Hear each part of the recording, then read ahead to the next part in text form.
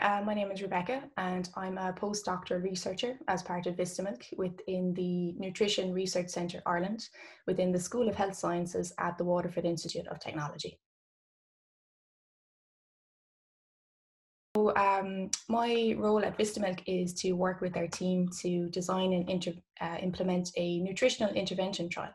And the aim of this research, which is supported by Science Foundation Ireland, is to improve the nutritional content of the human diet by developing a nutritionally superior or fortified dairy product for the general population. Okay. So um, the, the dairy product that we're designing will be fortified with a high amount of nutrients called carotenoids. And carotenoids are plant-based pigments and they give fruits and vegetables and some other foods their, their bright colours. So a tomato is red because of a carotenoid called lycopene. Uh, a carrot is orange because of a carotenoid called beta carotene. Um, the yolk of an egg is yellow because of the carotenoid lutein. So a lot of the work by our research group and others has shown that when we consume high amounts of carotenoids, for example, via a food supplement, we can improve our eye health. So our vision is sharper, we don't suffer from glare as much, um, and our brain health as well, where we've seen improvements in reaction time, attention, and certain types of memory. And we believe that these nutrients are important for our eyes and for our brain, primarily due to their antioxidant and anti inflammatory properties.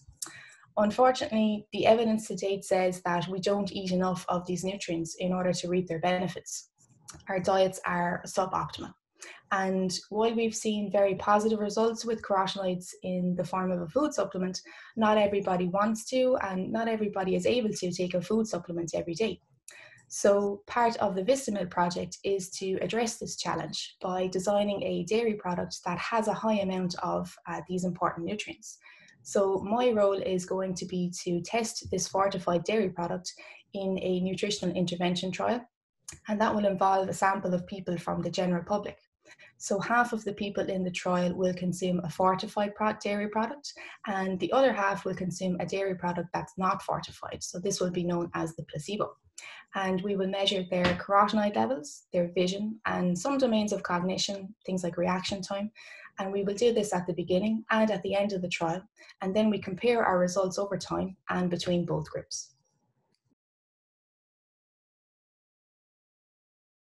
Um, well, I believe that this research is important because carotenoids are very important for our health, and in particular, our eye health and our brain health. The evidence today tells us that we need high amounts of these nutrients in our body in order for them to exhibit their antioxidant and anti inflammatory properties. But we don't get enough of these nutrients from our diet. So there's an opportunity for a fortified food to bridge that gap between what our body needs and what we can get from our diet. And we believe that using a dairy product as a vehicle for carotenoids will enhance the delivery of these nutrients into the body. And this is because carotenoids are fat soluble. And that means that they are absorbed easily into the body when their um, fat molecules are present, um, which dairy products like milk and yogurt have a lot of. So it's like we can get a busload of carotenoids into our body um, when fat is present versus a carload without the presence of, of fat molecules.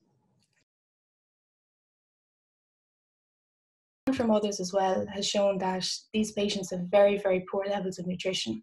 And some of the reasons why a person with Alzheimer's disease um, might have a poor diet uh, include simply forgetting to eat or finding it difficult to actually carry out the many steps that are involved in preparing a meal and cooking a meal. And other patients then develop a condition where they find it very hard to swallow food. So currently there is a fortified dairy product that's prescribed by medical doctors to Alzheimer's patients.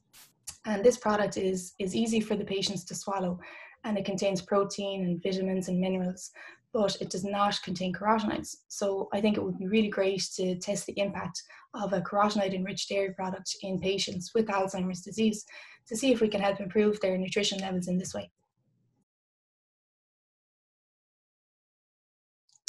Uh, milk matters to me because, well, it's the foundation for making other dairy products that I like to cook with and to eat. So, foods like butter, cheese, yogurt, ice cream. Um, mm. more importantly, more importantly, milk matters to me because it's important for my health. Um, for example, milk gives me the protein that I need to repair my muscles after exercising. And it also provides me with calcium to keep my bones healthy, which is just not just important for my health now, but also when I'm older.